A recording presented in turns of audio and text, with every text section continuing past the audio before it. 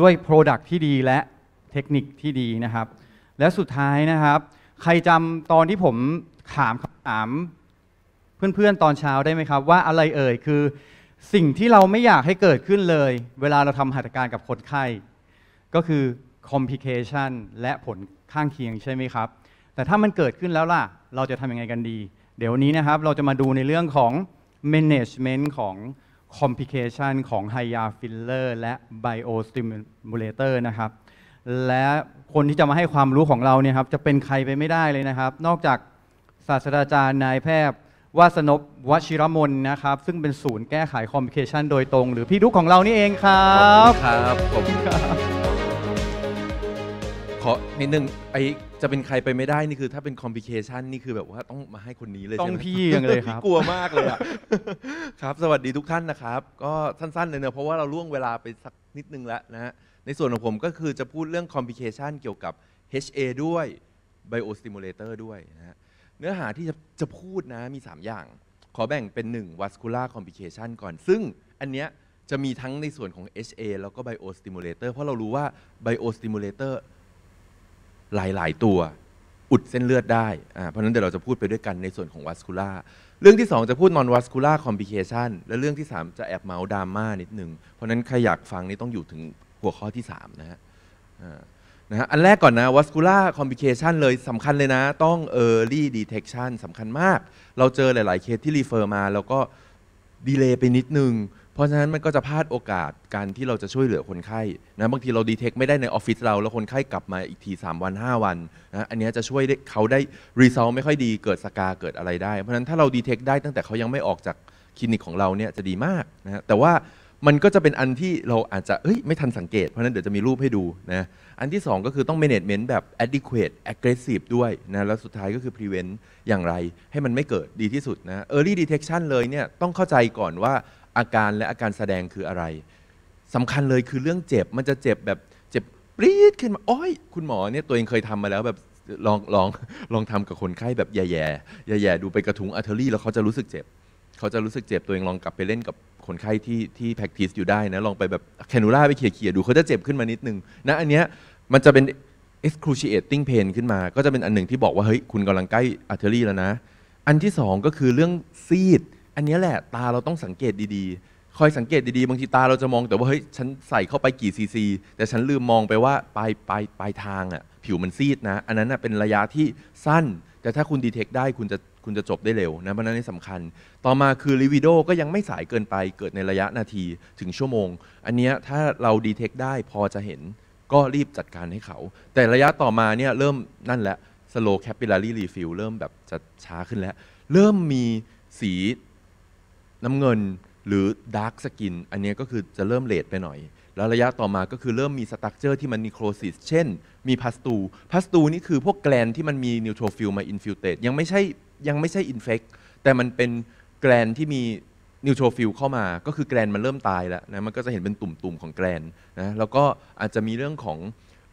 บุลเล่ก็คือหนังมันพอง เพราะมันขาดเลือดนะอันนี้ก็จะยิ่งช้าและช้าไปกันใหญ่แล้วนะพอแตกเป็นอัลเซอร์นี่ยิ่งไปกันใหญ่ นะอันนี้จะดูให้เห็นให้ให้ดูว่าตรงที่ปลายลูกศรสีเหลืองชี้เนี่ยคือซีด คนนี้ฉีดปากนะมันซีดเป็นวงนะอันนี้ถ้าคุณดีเทคได้นะคุณจะจบเร็ว รีบหยุดฉีดเลยนะแล้วก็รีบสลายไปเลยนะอันนี้จะช่วยได้เยอะนะอันนี้ถ้าเราเห็นตรงสีเหลืองก็คือซีด ตรงสีแดงคือเริ่มเป็น livedo แล้ว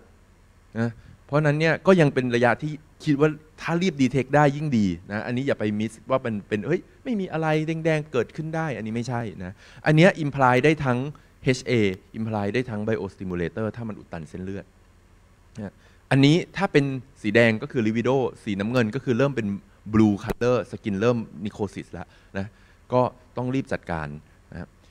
หลายๆ ครั้งใน practice เรามักจะสับสนระหว่างรูปขวากับรูปซ้ายนะถ้าเกิดรูปซ้ายมือของผู้ชมจริง ๆ คือแค่ breathing แต่ถ้าเกิดขวามือก็คือเจ้าตัว skin necrosis คุณเห็นว่ามันก็จะดูม่วง ๆ คล้าย ๆ กันถูกไหม เพราะคำว่า livido อะมันคือมันคือ F เออปรากฏการณ์ที่หลอดเลือดมันพยายามจะ compensate แล้วมันก็จะงง ๆ ไปกับความม่วงจริง ๆ ของของเจ้า bruise ซึ่งมันไม่เหมือนกันนะถ้าเกิดว่าเป็น bruise เนี่ยคุณจะเห็นได้ว่าสีม่วงอะมันจะค่อนข้างยูนิฟ อยู่อยู่เป็นผืน แต่ว่าถ้าเกิดว่าเป็น livedo เนี่ยมันต้องเป็นร่างแห แล้วจริง ๆ แล้วเนี่ยขอบขอบของ livedo คือจะกดได้จาง แต่ตรงกลางคือเริ่มเป็นสีเข้มเพราะมันเนื้อตายเพราะฉะนั้น livedo จะต้องมีความเป็นร่างแห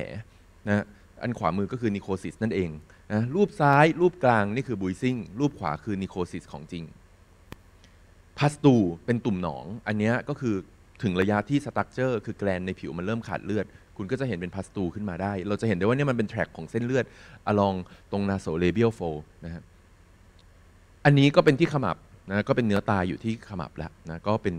เป็นเป็นเคสที่ส่งมาที่เราเหมือนกันนะฮะ อันนี้ก็จะเป็นตัวอย่างอีกเคสหนึ่งที่ส่งมาที่เรานะครับ เพราะว่ามีประวัติฉีด HA คือทุกคนก็จะเริ่มกลัวว่าใช่หรือไม่ใช่ เราก็จะกลัวตอนนี้เราจะสับสนระหว่าง bruise กับ livedo แล้วอันนี้ก็จะมีอีกอันหนึ่งที่เจอได้นะ ก็คือคนไข้ก็บอกว่าไปฉีด HA มา 2 วันที่แล้ว แล้วก็เกิดแดงๆ อย่างเงี้ยสองขยุ่ม แล้วก็มีตุ่มเล็กๆ คล้ายๆ pustule เกิดขึ้น คุณหมอก็ไม่แน่ใจก็เลยส่งมา ปรากฏว่าอันนี้คือ group of vesicle and pustule on erythematous base เพราะฉะนั้นเนี่ยจริงๆคือ herpes zoster เฉยๆนะเราก็มันก็ดีใจแบบ เอออะไรครับคล้ายๆกับเสียงโง่ไปนิดนึงเนาะแต่ว่าก็ดีกว่าเข้าเส้นเลือดถูกไหมฮะแต่ว่าอันเนี้ยเราก็ยังน้อยความรู้ทาง dermatology ก็ยังมีมีความสำคัญนะฮะก็มันก็จะดูเป็นกลุ่มสีแดงๆ แล้วก็มีตุ่มตุ่มน้ำพองนะครับก็เอ่อต้อง differentiate ไว้ด้วยนะ herpes zoster กับ necrosis เนี่ยดูเกือบจะเหมือนกันเลยนะ แต่เอาจริงคือไม่เหมือน เพราะถ้า necrosis คุณจะเห็นเป็น area กว้างๆ แล้วคุณก็จะเห็น livedo รอบๆ ใช่ไหมแต่อี zoster มันก็จะเป็นขยุ่มแดงๆ เป็นกรุ๊ปกรุ๊ปกรุ๊ปหลายๆกรุ๊ปอ่าแล้วก็ตรงกลางก็มีเป็น vesicle pustule ขึ้นมา นะทีนี้ถ้าคุณ detect ได้แล้ว คุณก็ต้องแก้เร็วๆ แล้วคุณก็ต้อง aggressive กับการแก้ด้วยนะคุณจะมาหน่อมแนมขวด 2 ขวดไม่ได้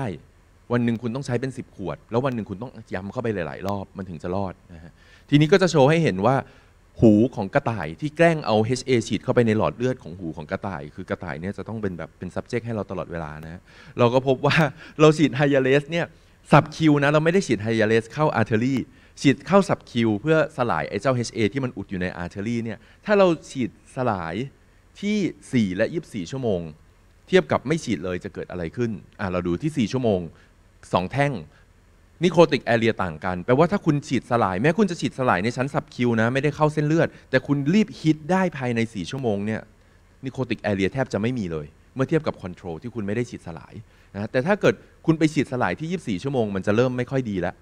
result อาจจะไม่ดีมากแล้ว แต่ก็ต้องเข้าใจว่าเราเป็นคนเราไม่ใช่กระต่าย เพราะฉะนั้นมันก็อาจจะไม่ imply ทั้งหมด เพราะว่าเนื้อเราอาจจะทนได้มากกว่ากระต่าย แต่จะเป็นตัวบอกแค่ว่ายิ่งเร็วยิ่งดีนะครับทีนี้คนก็จะมาถามว่า แล้วฉันจะฉีด subcu หรือฉันจะฉีด intra-arterial ดี เพราะว่าโดยโดยหลักการเนี่ย intra-arterial มันดูมาก มันน่าจะตรงตรงตรงกว่าใช่ไหมถ้าเราเข้าไปได้ แล้วทำไมเขาก็ยังโปรโมทให้ฉีด subcu แล้วก็มาดู study ของเจ้ากระต่ายอีกแล้วนะ ซึ่งเมื่อกี้เนี่ยใช้กระต่ายไม่เยอะอันนี้ใช้เยอะขึ้นนะ เอาเป็นว่าบนบนซ้ายเนี่ยจะเป็นไม่มีอะไรเป็นการผูกเฉยๆ เหมือนเราไปแบบเป็นเป็นหมอสันแล้วผูกเส้นเลือดนะบนขวาก็คือฉีด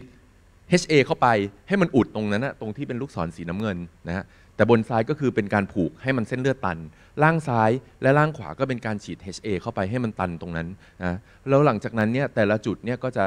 ปล่อยไว้บนซ้ายบนขวาคือปล่อยไว้เฉยๆไม่ทำอะไร ล่างซ้ายฉีดhyalase แบบ subcu ไปฉีดปลายๆนะไปฉีดปลายๆหู แล้วก็ล่างขวาเนี่ยไปฉีด hyalase แบบ intra-arterial แต่ฉีดตรงที่มันเป็น plugging อยู่นะเราคิดว่าสองสองบนบนขวาต้องไม่ดีแน่ๆถูกป่ะเพราะเราฉีด ฉีด HA เข้าไปแล้วเราไม่ได้ฉีดสลายอะไรต่อมันต้องแย่แน่ๆแต่ล่างซ้ายกับล่างขวาเราอยากรู้ว่าจริง ๆ แล้วอะไรจะดีกว่ากันเราก็เลยต้องมาดู result ปรากฏว่าบนขวาเนี่ยไม่ดีจริง ๆ เนื้อตายเยอะมาก ล่างซ้ายเนี่ยที่ฉีดแบบ subcu แต่ฉีดปลายๆนะ ก็คือดีนะ มันมีแค่ necrosis ขอบๆนิดเดียว ล่างขวาก็ไม่ขี้เหร่แต่ว่า ก็ขี้เหร่กว่าล่างซ้ายอะล่างขวาคือฉีด intra-arterial งั้นก็ต้องแปลว่าเฮ้ยอย่างนี้ฉีด intra-arterial เนี่ยมันก็จะไม่ดีเท่านะสิซึ่งก็น่าจะเป็นอย่างนั้น แต่กำลังจะบอกว่ามันขึ้นกับว่าคุณฉีดตำแหน่งไหนของ artery เพราะคุณต้องรู้ว่า artery เนี่ยมันมีกระจายไปทั่วนะส่วนบนซ้ายคือการผูกเส้นเลือดไม่มีอะไร เพราะว่าการผูกเส้นเลือด คุณ shut down ตรงนั้น แต่ยังมี collateral ได้เยอะ แต่ในขณะที่คุณฉีด HA มันไม่เหมือนกัน มันมีการ thromboemboli เข้าไปอุดไอ collateral ต่อไปอีกมันก็เลย necrotic เยอะนั่นเองนั้นแปลว่าการฉีดแบบ intra-arterial อาจจะไม่ดีเท่าการฉีด subcu อืมก็จะเลยจะบอกว่ามันก็ไม่ทั้งหมด อันนี้อยากให้ดูก่อนว่าการฉีด subcu เนี่ยนะเนี่ยคือเอา artery หรือ vein ก็ตามอัดด้วย HA ฟิลเลอร์แล้วคุณก็ไป soaking ใน hyalase เนี่ยปรากฏว่าฟิลเลอร์ในลูเมนมันหายไปจริง ก็แปลว่ามันมีการซึมเข้าผนังหลอดเลือดได้ เพราะนั้นการฉีด subcu เพื่อให้ให้ hyalase มันซึมเข้าไปในผนังหลอดเลือดนี่ก็ยังมีประโยชน์ นั่นเอง แต่คุณต้องเลือกผนังที่มันยิ่งบางยิ่งดี เพราะนั้นมันจะดีกับพวกที่มันอยู่ปลายๆนะแต่มันไม่ได้ดีที่ตอเท่าไหร่นะนั้นการฉีด subcu hyalase ก็คือ 1 ครั้งไม่ได้นะ คุณต้องฉีดหลาย ๆ ครั้ง แล้วก็ฉีดบ่อยๆหลายๆแบบทุกๆ 3-4 ชั่วโมงฉีดเข้าไปอีกนะอันนี้คือสำคัญทีนี้เราก็จะมาดูว่าเนี่ยมันไม่แฟร์สต u d ดี้ อาร์เทอรี่ตรงเนี้ยกับสับคิวเนี่ยมันไม่แฟร์เพราะว่าไอ้กลุ่มที่ฉีด subcu มันไปฉีดปลายๆตรงปลายลูกศรสีเหลือง แต่ว่าไอ้ artery ที่มันฉีดสลายเข้าทาง artery มันฉีดตรงตอ แล้วคุณต้องอย่าลืมว่า hyalase มันก็ต้องเลี้ยวซ้ายเลี้ยวขวาไปตามตามแขนงของหลอดเลือดที่มันไป เพราะฉะนั้นแล้วจุดที่มันไปทำทำงานจริง ๆ ทั้งหมดอาจจะไปถึงปลายทางแค่นิดเดียวถูกปะแล้วอย่างอย่างเช่นทาง clinical เนี่ยเวลาเราฉีดที่ artery เนี่ยเราจะฉีด ได้แต่เฉพาะเส้นใหญ่ๆ เส้นเล็กเราไม่มีทางอะขนาดเจาะ blood gas เรายังเอาไม่ค่อยรอดเลยอะต้องเจาะตั้งหลายรอบ เพราะนั้นอันนี้ก็เช่นกัน ก็เลยคิดว่าการฉีด subcu ก็ยังมีประโยชน์ แต่ว่าถ้าถามว่าที่รามาธิบดีทำยังไงเราก็ทำทั้งคู่นะฮะทำทั้ง artery ด้วย แล้วก็ทำทั้ง subcu ปลายๆด้วยทั้งหมดนะครับอ่าทีนี้เนี่ยก็ต้องมาคิดใหม่ว่าถ้าเกิดว่าการฉีด artery แบบที่มัน superselective มากขึ้น คือทำให้มัน selective เข้าไปอีก มันจะดีไหม ก็คือตอนนี้เราก็คอลแลบกับ X-ray intervention เขาก็จะสอดสายเข้าไปตั้งแต่ femoral artery ไล่เข้ามาที่ที่เอ่อเจ้า aorta descending aorta ขึ้นไปที่ aortic arch แล้วก็เลี้ยวไปที่ carotid external carotid artery แล้วก็เข้า facial artery แล้วไกด์ไอวายของเขาเนี่ยมันจะเล็กมาก เพราะฉะนั้นมันจะไปที่ distal ได้จนถึงจอตา เกือบจะถึงจอตา แล้วค่อยไปปล่อย higher r a s ที่นั่น อันเนี้ยมันจะ make sense เพราะฉะนั้นเคสก็จะเป็นลักษณะที่ตอนนี้เราพยายามจะทำมากขึ้นที่รามาธิบดีนะเพื่อให้คนไข้ ได้ประโยชน์มากที่สุด เพราะนั้นมันก็ขึ้นกับว่าคุณใช้อะไรไปอุด ถ้าคุณฉีด HA แล้วก็ฉีด hyalase เข้าไปในวิธีที่ใช้กับ X-ray intervention แต่ถ้าเกิดว่าคุณไปฉีดพวก biostimulator มาฉีด fat มาแล้วมันอุด คุณก็อาจจะต้องใช้อันอื่นทำให้มันสลาย เช่น urokinase เช่น papaverine พวกนี้ก็จะเป็นตัวเป็น thrombolytic แบบหนึ่งนะหรือว่าอีกอันหนึงตัว Y เองเนี่ยหรือไอไอไอเหล็กเนี่ยที่มันอยู่ในแกนเนี่ยมันก็สามารถไปกระทุ้งกระทุ้งกระทุ้ง ทำให้เปิดทางของเส้นเลือดได้นะก็จะเป็นอีกตัวหนึ่งที่ช่วยคนไข้ได้นั่นเอง และอันนี้ก็จะเป็น paper ที่ออกมาเมื่อสัก 2 ปีที่แล้วเนี่ยนะว่าต่างประเทศเนี่ยเขาก็เริ่มทำแล้วแบบใช้ X-ray intervention ใช้วิธี super selective นะ intra arterial สลาย ก็ผลว่าเออก็ดูดีขึ้น อันนี้ก็คือรูป clinical ลิ้นที่มันแบบ infarct แล้วก็แหว่งไปมันก็กลับมาได้นะฮะหรืออย่าง รูปจาก angiogram ก็จะเห็นได้ว่า เฮ้ย blood flow มันก็เริ่มกลับมานะครับก็อันนี้ก็คือเป็นเป็นเคสที่ทำแบบ X-ray intervention นชั่นนะอันนี้เคสของเราเองที่รามาธิบดีนะเห็นอย่างนี้เราก็รู้สึกว่าก่อนจะสลาย intra arterial กับหลังจากที่เราทำ X-ray angiogram ไปแล้วเนี่ยเราเห็นว่าเฮ้ยดีจังเลยอะ blood flow มาเยอะนะก็เห็นเราใจแม่มาฮาร์ดมาเตอร์คัมมากเลยนะฮะก็ เราก็พยายามทำอย่างนี้มากขึ้นนะครับ แต่ว่ามันก็อาจจะมีข้อจำกัดบางอย่าง ยกตัวอย่างเช่นต้องหาเตียง admit ซึ่งก็ทราบดีอยู่ว่าบางทีเตียงก็หายากนะแล้วก็เรื่องค่าใช้จ่ายที่อาจจะสูงกว่า แต่คิดใน long term ก็อาจจะดีก็ได้เพราะว่าคุณใช้ hyalase น้อยกว่า แล้วก็คุณก็ไม่ต้องมาตามเก็บ complication พวก scar ให้เขานะนั้นอันนี้ก็จะเป็นอีกอันหนึ่งที่เพิ่งออกมาสดๆร้อนๆเลย 31 มกราปีนี้เลยนะ paper อันนี้ซึ่งเป็นการใช้วิธีเดียวกัน super selective intra arterial แต่สำหรับ Product ที่ไม่ใช่ HA เขาก็ใช้เนี่ย urokinase papaverine อะไรก็ว่าไปเพราะฉะนั้นการที่มี material อื่นเข้าไปอุด เราก็จะใช้เทคนิคนี้ได้นั่นเอง ก็เลยจะเป็นตัวที่บอก อีกอันหนึงที่จะช่วย supportive treatment คนไข้ได้ก็คือการใช้ hyperbaric oxygen ซึ่งสำคัญมากเพราะจะบอกว่าสมมติว่าร่างกายเราขาดเลือดซ้ายมือคือมีเลือด แล้วตรงกลางคือที่อุด แล้วก็ขวามือก็คือส่วนที่มันที่มันไม่ได้รับเลือดเข้าไปเนี่ยนะมันก็จะขาดเลือดนั่นเอง ทีนี้เราพบว่าถ้าเรามีความดันออกซิเจนที่สูงพอเนี่ยเช่นถ้าสูงถึง 3 ATA เลยเนี่ย เราอยู่ได้โดยไม่ต้องมีเลือดนะจะบอกเช่นนั้น แต่ว่าถามว่าทำจริงเราทำถึงความดัน3ไหมมันจะไม่ไหวนะแล้วก็อาจจะทำน้อยกว่านั้น แต่อย่างน้อยก็ช่วย preserve tissue ได้ระหว่างที่เส้นเลือดมันยังไม่งอกมาให้เรานะก็จะเป็นอีกอันหนึ่งที่เราก็ทำให้คนไข้ที่ที่โรงพยาบาล แต่ดีที่สุดก็คือคุณต้อง prevent ถูกใช่ไหมฮะ เพราะฉะนั้น needle หรือ cannula ส่วนใหญ่เราก็จะพยายามโปรโมท cannula มากกว่าอยู่แล้วนะฮะ เพราะฉะนั้นถ้าเราดู study อันนี้ก็จะโชว์ให้เห็นว่า rate ของ vascular occlusion จาก HA filler เนี่ยneedle น่ะยังไงก็เยอะกว่า cannula นะ แต่ที่เราเจอตรงกันเลยนะ กับเอ paper ต่างชาติ นี่คือ most occlude area เลยคือ nasolabial fold ไม่รู้มันทำไม น่าจะเป็นเพราะว่าชอบใช้ sharp needle กัน คือส่วนใหญ่ก็จะโปรโมทว่าพยายามอย่าใช้ ทุกคนก็จะมั่นใจว่าฉัน ปักชน bone ไม่เห็นมีปัญหาอะไรเลยนะคือทุกคนที่ที่ refer มาจะบอกว่าฉันปักชน bone แล้ว aspirate แล้วก็ตามนะอีกอันหนึ่งที่อยากจะบอกคือว่าคุณคุณ cannula ดีกว่านะแล้วก็แต่การที่ cannula เนี่ยคือไม่ได้ต้องจงจะให้อ่านให้โชว์ paper เฉยๆว่า paper นี้สรุปมาว่าถ้าคุณจะใช้ cannula เนี่ยต้องเป็น